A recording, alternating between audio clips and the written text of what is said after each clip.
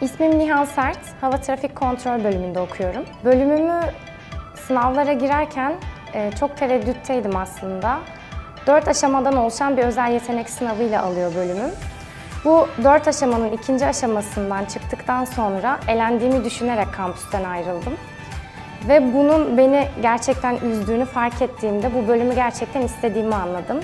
Bölümümü tercih etmemdeki asıl sebep İngilizce konuşuyor olabilmek, yurt dışı avantajları ve de uygulamalı eğitimle eğitim veren bir kurum olmasıydı. Eskişehir Teknik Üniversitesi öncelikle Eskişehir'de olduğu için büyük bir avantaja sahip. Eskişehir 3 Üniversitesi ile birlikte büyük sosyal imkanlara sahip olan bir öğrenci şehri. Ayrıca öğrenci kulüpleriyle çok fazla imkan sunan bir üniversite. Tiyatro kulübünde 3 yılımı geçirdim ve çok dolu bir 3 yıl geçirdim.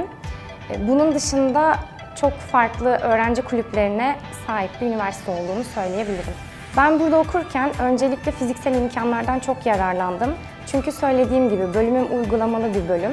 Bu yüzden sahip olduğumuz fizik, fiziksel imkanlar bizim için önemli. Bununla birlikte söylediğim gibi öğrenci kulüplerinden, tiyatro kulübünden fazlaca yararlandım. Hava Trafik Kontrol bölümü özel yetenek sınavıyla alan bir bölüm. Risk almayı seven biri olarak her zaman hava trafik kontrol bölümüne ilgi duymuştum. Mezun olduktan sonra her havalimanında hava trafik kontrol ünitelerinde çalışabiliyoruz. Benim öncelikli hedefim yurt dışında çalışmak. Eskişehir tam bir kültür sanat şehri, aynı zamanda öğrenci şehri olduğunu da söyleyebilirim.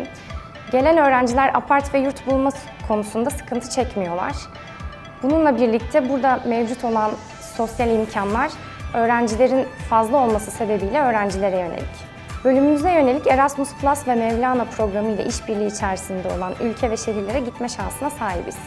Bu bölümü tercih etmek isteyen adaylar hızlı düşünmeyi ve analitik düşünmeyi seviyorlarsa bu bölümü tercih edebilirler. Bu bölümü tercih etmek isteyen adayları aramızda görmekten mutluluk duyarız ve sınavlarda hepsine başarılar dileriz.